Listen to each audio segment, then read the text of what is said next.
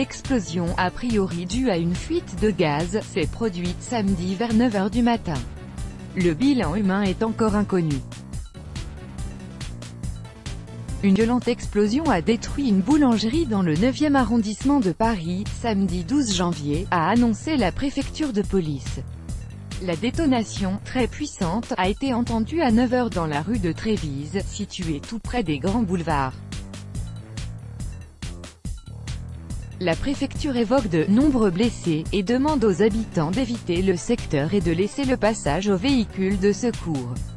Plus grand que plus grand que explosion d'un immeuble à Paris, suivez la situation dans notre direct. J'étais à quelques mètres de la rue de Trévise quand j'ai entendu un énorme bruit d'explosion, raconte à France Info la journaliste indépendante Émilie Molly, présente sur les lieux. J'ai couru pour voir ce qu'il s'était passé. Il y avait de la fumée et du verre partout.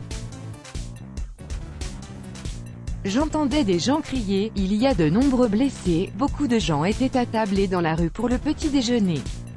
Des gens étaient encore dans l'immeuble qui a explosé. Sur les réseaux sociaux, de nombreux témoins ont publié des photos et vidéos montrant des scènes de désolation.